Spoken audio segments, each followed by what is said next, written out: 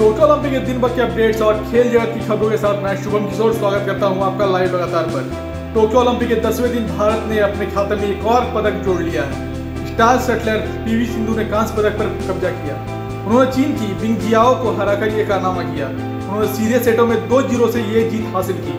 भारत के खाते में अब दो मेडल हो चुके हैं और बॉक्सिंग में भी एक पदक पक्का हो गया है। महिला मुक्केबाज लवलीना सेमीफाइनल में पहुँच चुकी है। वहीं पुरुष हॉकी टीम ने इतिहास रच दिया है। पुरुष हॉकी टीम ग्रेट ब्रिटेन को हराकर सेमीफाइनल प्रवेश कर गई है। वो चार दशक बाद ओलंपिक के सेमीफाइनल में पहुँची है। वहीं बात करें बॉक्सिंग की तो सतीश कुमार ने शानदार साहस का परिचय दिया है। वो भले ही मुकाबला हार गए हो, लेकिन उन्होंने भारतीय का दिल जीत लिया।